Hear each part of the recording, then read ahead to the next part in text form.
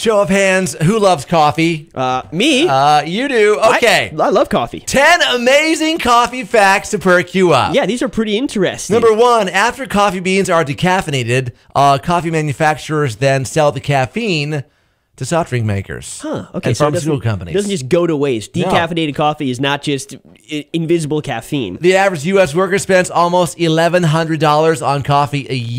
That's pretty insane. But if you ever go to like New York City Uh-huh. and you Oh, order yeah. a cup of coffee from like not a chain coffee shop, th- those can get quite expensive. um, the name Starbucks Yep. It actually came from Captain Ahab's first mate. Yeah, Starbucks. Yeah, they actually talked of uh, naming it uh, Pequods, After, Pequods. A- after Ahab's ship. I'm glad that they settled on Starbucks. Chock full of nuts coffee Does, not, have contain any nuts. nuts. Yeah, no. it's named after the chain Right. of nut stores the founder converted into coffee shops. According to legend, uh, Honoré de Balzac drank 50 cups of coffee a day to fuel his writing. A writer who drinks 50 cups of coffee 50. a day. That's insane. He probably never slept. 1932, uh, Brazil could not afford to send its athletes to the, the Olympics in Los Angeles. Uh-huh. So they put uh, uh, their ships with coffee and then sold it along the way. Okay, so they made some money rather than spent the money on sending their Olympic athletes. 1674, the women's petition against coffee This is funny. said it was turning British men into useless corpses. And proposed a ban for those under 60. Yeah. So, like, alcohol is 21. They said you can't drink coffee unless you're 60.